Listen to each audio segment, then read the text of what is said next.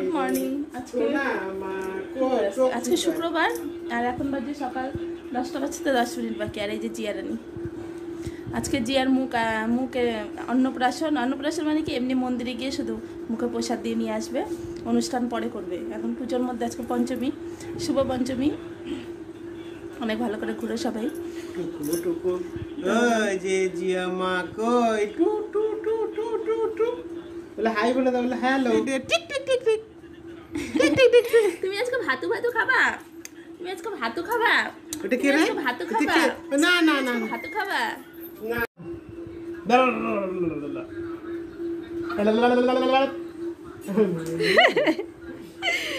ওরে সোনা রে। তো দেখো, এখানে আমি চন্দন পাচ্ছি আর হলো সকালে আমার পুজো টুজো সব শেষ। আজকে সকাল সকাল সব কাজ হয়ে গেছে। এখন পুজো শুরু হয়ে গেছে না, পুজোর সময় বেলা করে পুজো টুজো দিতে কেমন লাগে? ভালো লাগে না? তো সকালেই সব কমপ্লিট হয়ে গেছে, এখন চন্দনটা বাড়ছি জিয়াকে পরে পড়াবে এই জন্য চন্দন বাড়ছি চন্দন বেটে রেখে দিই এখন, দিদি বলল বাড়তে আর দেখো, আজকে কতগুলো গাছে লাল ফুল পেয়েছি, একদম ভর্তি করে ঠাকুরের আসন দিয়ে, আসনে ভর্তি করে দিয়েছি। তো এখন চন্দনটা বেটে নেব, চন্দনটা বেটে তারপর আমি দেখো রেডি হয়ে গেলাম। রেডি হয়ে গেলাম এখন যাব মন্দিরে। আমাদের এখানে অনেক বড় একটা লোকনাথ মন্দির আছে তো ওখানে যাব।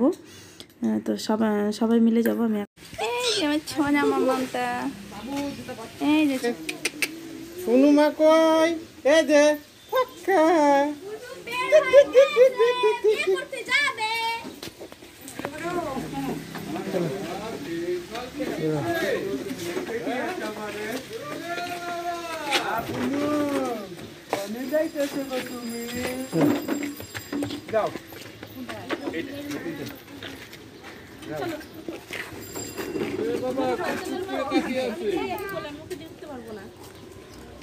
তো দেখো গাড়িতে সবাই বসে পড়েছে আর জিয়াকে দেখো।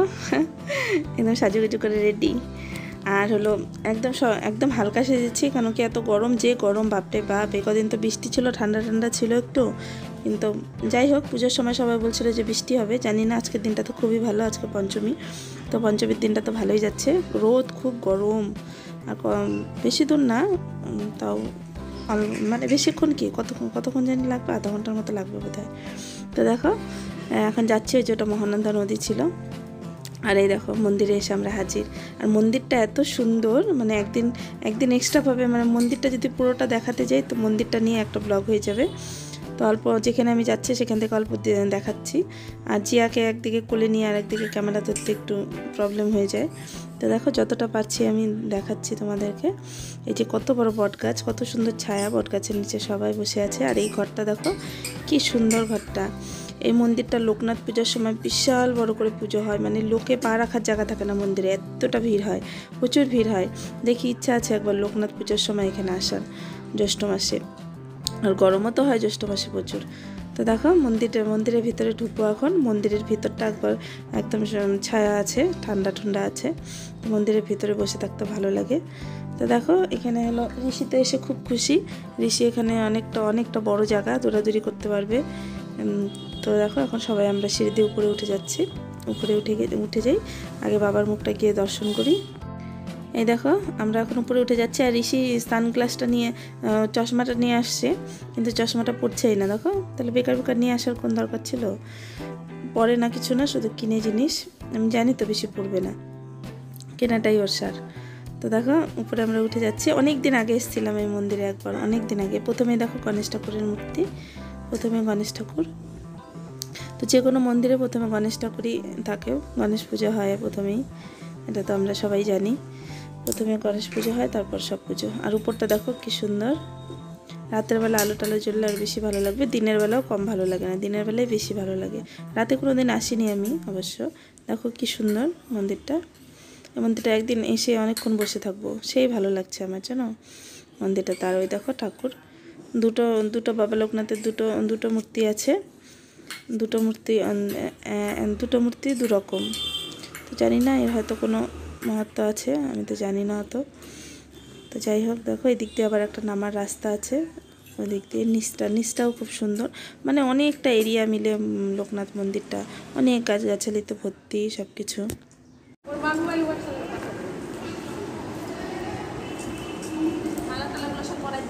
মা কিছু বলো? পড়াই নিয়ে ওইটা ভিডিওর মাকে পাঠানো।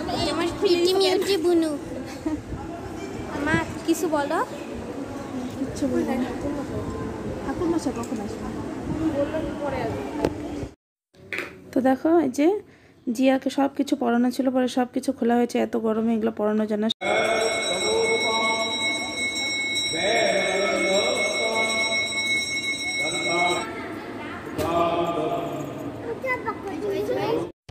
দেখো মন্দিরটা একটু চারিদিক দিয়ে ঘুরে দেখাই তোমাদের।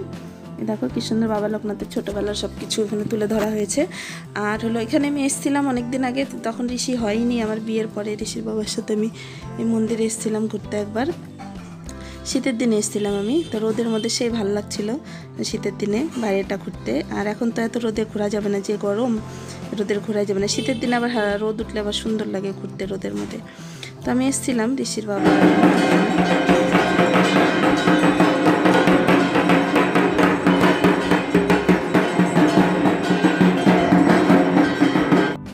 দেখো, ঠাকুরের ভোগ দেওয়া হয়ে গেছে, এখন জিয়ার মুখটা এটা করবে। তো জিয়া কতক্ষণ ধরে ভদ্রভাবে আছে? আমি জিয়াকে দেখো অবাক যেন বাচ্চা মানুষ এতক্ষণ দেখো কান্নাকাটি, কিচ্ছু নেই। এক ফোঁটা যদি কান্নাকাটি করে, কত বাচ্চারা এসছে, কত কান্নাকাটি করছে, কিন্তু জিয়ার মুখে একটুকু কান্না নেই। সবাই তাই বলছে যে, কত শান্তশিষ্ট বাচ্চাটা, আমিও জিয়াকে দেখো অবাক। নাহলে এতক্ষণ মাকে ছাড়া রাখা যায় না। তো দেখো, জিয়ার মুখটা একটু হয়ে গেল, তো আমি জিয়ার ঠাকুর মশাই করে দিলাম, আর মোবাইল টোবাইল বের করতে করতে দেরি হয়ে গেছে, তো এতটুকুই ভিডিও করতে পারলাম আমি।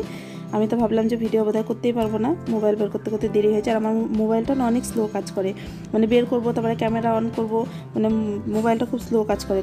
টিপার মানে টাচ করার অনেকক্ষণ পরে রিয়াকশান দেয় আর কি মোবাইল তো দেখো, মু- মুখেটা হয়ে গেছে। এখন কি সুন্দর ঠাকুরের পায়ে আশীর্বাদ দিয়ে খুব ভালো লাগল এখানকার সিস্টেম আমার। কি সুন্দর দেখো। এই দেখো কি সুন্দর মন্দিরের ভিতরে ঢুকিয়ে নিয়ে ঠাকুরের পায়ে আশীর্বাদ দিচ্ছে। আবার একটা ফুল বেলপাতা দিয়ে দিয়েছে। তো দেখে আমার খুব ভালো লাগল।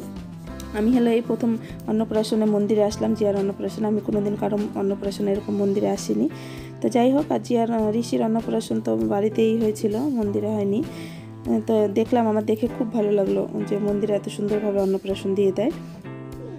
আর দেখো হয়ে গেল অন্নপ্রাশন, আর অনেকটা লেট হয়ে গেছে, আমরা এখন চলে যাব বাড়িতে জিয়ারও বোধহয় হ্যালো ফ্রেন্ড আমরা এখনই আসলাম।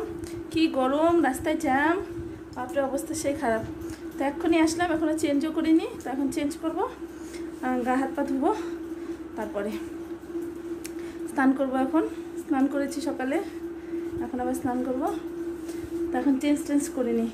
তো আজকের ব্লগটা আজকের ব্লগটা কন্টিনিউ করব না, তো আজকের ব্লগটা এখানেই শেষ করছি। সবাই ভালো থাকবে, সুস্থ থাকবে। আসছি একটা নতুন একটা ব্লগ নিয়ে। ততক্ষণের জন্য বাই বাই